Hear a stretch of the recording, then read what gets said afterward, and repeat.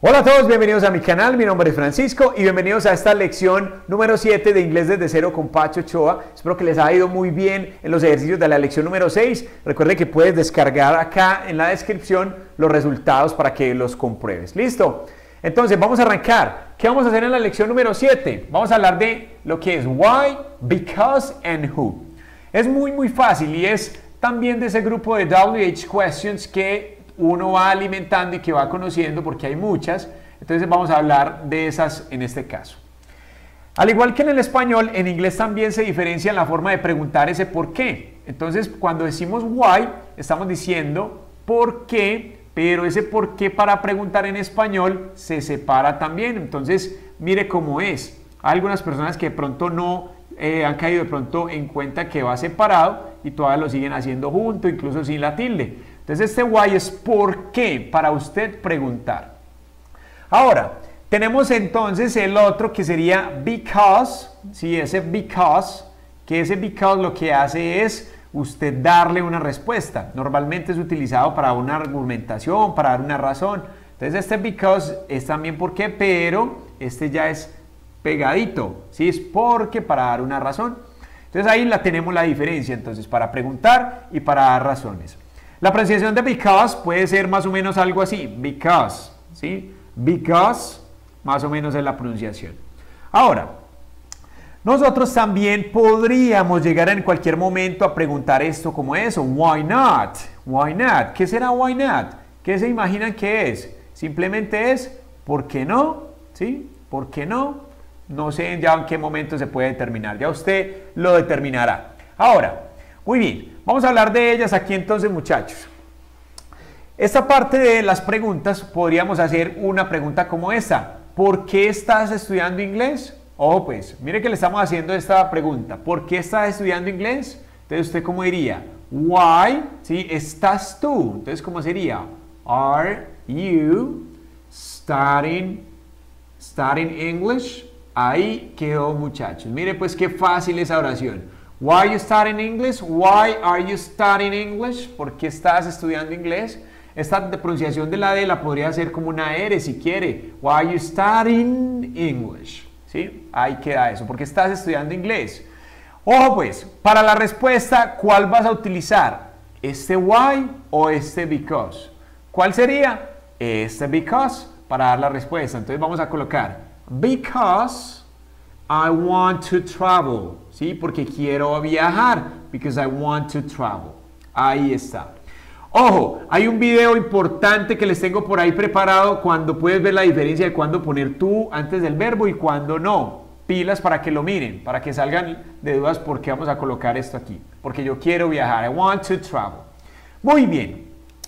¿Qué más podríamos hacer este con, con este why? Podríamos hacer también preguntas como estas. Aquí dice, ¿por qué estás estudiando inglés? Ahora, cuando yo no te vea estudiando, yo te digo a ti, ¿por qué no estás estudiando inglés? Eso se llaman preguntas interrogativas. Entonces, porque estás interrogando y negando a la vez. ¿Por qué no estás estudiando inglés? Entonces, mire cómo sería. ¿Por qué no estás? O que la negación no es por acá, la negación sería aquí. Entonces, ¿cómo sería? Why aren't you, ¿sí? Why aren't you studying English? Mire pues entonces donde le hicimos la negación. Why aren't you studying English? Why aren't you studying English? ¿Por qué no estás estudiando inglés? Deme una razón por la que no estás estudiando inglés. Entonces, digamos que quieres descansar un ratico. Entonces, because I want, because I want to rest. Porque quiero descansar. Because I want to rest. Muy fácil el trabajo de eso. Pacho, y hay otra forma de usarlo. Claro, también podemos utilizar eh, el verbo to be para eso. Por ejemplo, podríamos utilizar, digamos, otra forma de pregunta. Por ejemplo, is the board, mire este por ejemplo muchachos, is the board black? ¿Es el tablero negro? Este tablero es negro. ¿Usted qué diría si usted fuera el que responde esto? Usted diría, no, it isn't, no, no es. Recuerde que ya vimos la parte negativa. No, it isn't. Yo le podría preguntar a usted, why not? ¿Sí? Ojo, pues que aquí lo estoy utilizando. ¿Is the board black? No, it isn't. Why not? ¿Por qué no? Y yo voy a decir, porque el tablero es blanco. Entonces, como yo diría, because, because the board, because the board is white. Mire pues qué fácil, porque el tablero es blanco. Ojo, no quiero ver respuestas como estas. Because is white.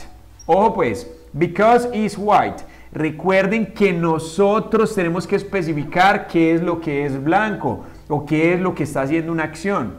En español uno sí omite como eso, pero en inglés debemos especificarlo. Entonces, ¿qué podrías hacer? Tienes dos opciones. Because the board is white o simplemente colocamos este tablero y lo colocamos como it, que sería el pronombre adecuado para eso, para una cosa, un objeto. Because it is white.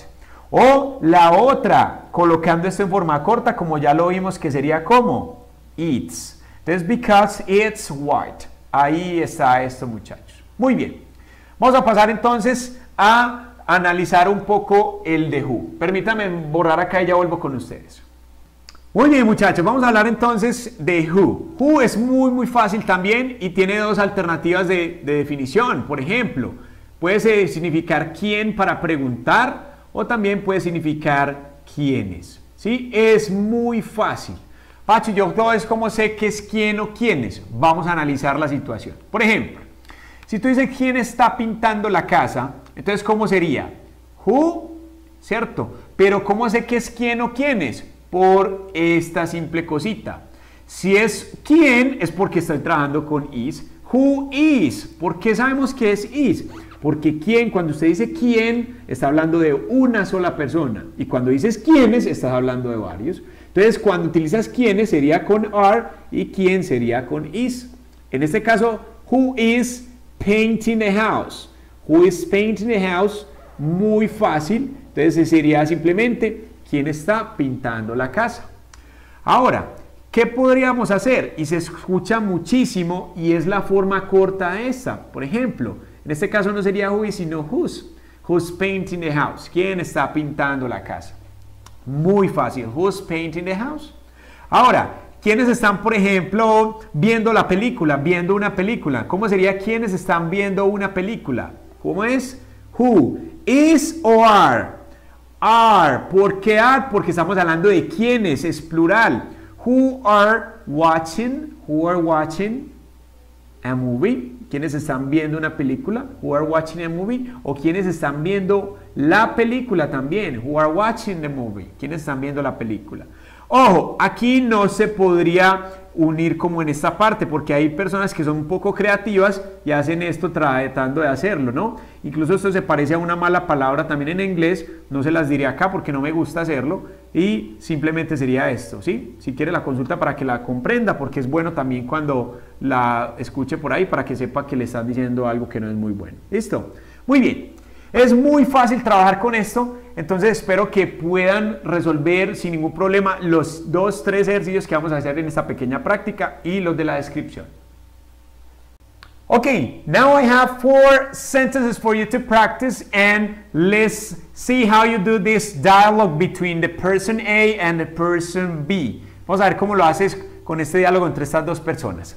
Ok, la persona A pregunta, ¿por qué está Brian en el banco? Un saludo para Brian Games, que está muy pendiente de las clases de inglés.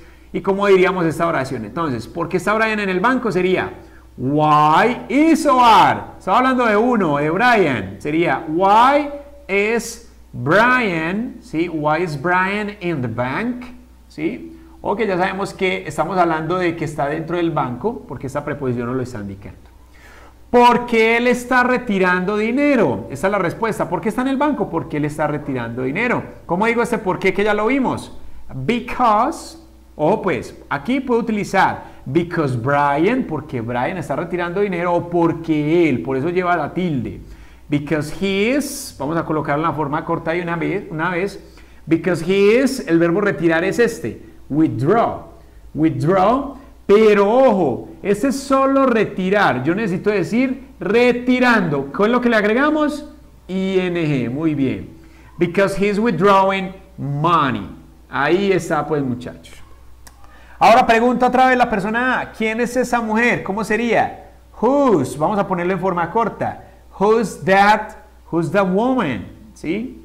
Ahí está. Who's the woman? Ahí está, muchachos. Ella es su hermano. ¿Cómo sería? She is his sister. Pacho, ¿y por qué ese his? Recuerde que la hermana es de quién? De él. Estamos hablando de Brian en toda esa historia. Espero entonces que les haya ido muy bien en esta práctica. No olvide suscribirse, presione este botoncito, practicar de una vez la lección número 7 con la guía que está a continuación y comparta este video. No sabemos cuántas personas están por acá esperando este curso para que se beneficien. Bye bye. See you next class.